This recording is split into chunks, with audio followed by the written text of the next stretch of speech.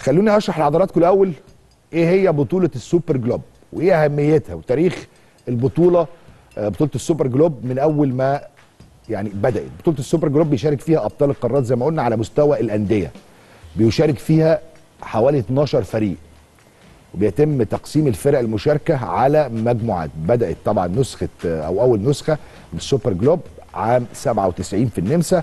وحصد اللقب وقتها فريق آه اسمه أسباني اسمه آه كانتابريا.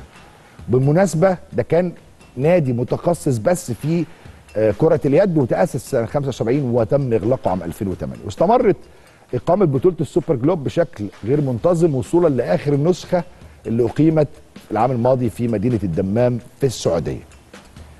زي ما حضراتكم كده شايفين على الشاشة من أول عدد النسخ طبعا 15 أول نسخة كانت في فيينا 97 آخر نسخة في الدمام 23 أكثر الفرق المتوجة بلقب السوبر جلوب خمس ألقاب هو برشلونة الإسباني.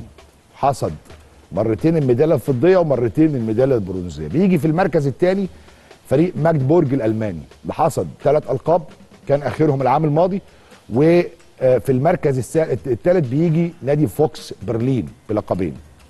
تاريخ بطولة السوبر جلوب لكرة اليد زي ما قلنا 15 نسخة الأولى كانت في فيينا سنة 97 والأخيرة كانت في المملكة العربية السعودية في الدمام. أكثر الفرق تتويجا آه، برشلونة زي ما قلنا بخمس ألقاب. طيب الفرق المصرية هي كمان سجلت حضورها بقوة في بطولة السوبر جلوب.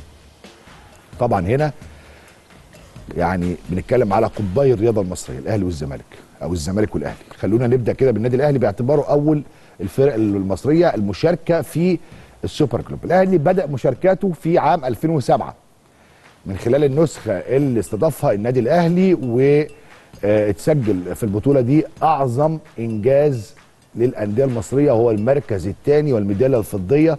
بعدها غاب الأهلي لمدة طويلة لحد ما سجل حضور تاني آه، عام 2015 في البطولة اللي اتلعبت في العاصمة القطرية الدوحة وحقق الأهلي وقتها المركز الخامس ثم مشاركة ثالثه وكانت عام 22 واللي قيمت في السعودية وحقق الأهلي المركز الرابع. المشاركة الرابعة كانت في العام التالي مباشرة عام 2023 وقيمت أيضا بالمملكة العربية السعودية وحقق فيها المركز الأهلي المركز الخامس والمشاركة الخامسة هتكون في البطولة اللي إحنا بصدد توقيع عقد استضافتها الآن. أما نادي الزمالك فهو أكثر الأندية المصرية مشاركة في السوبر جلوب. خمس مشاركات.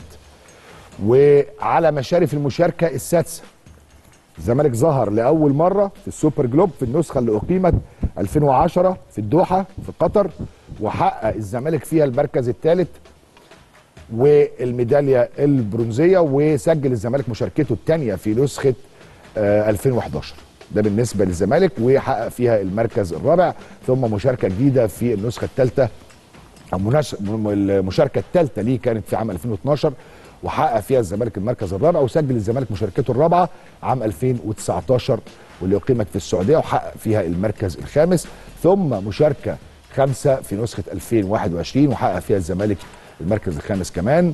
تاريخ الأهلي في السوبر جلوب آه زي ما قلنا أربع مشاركات.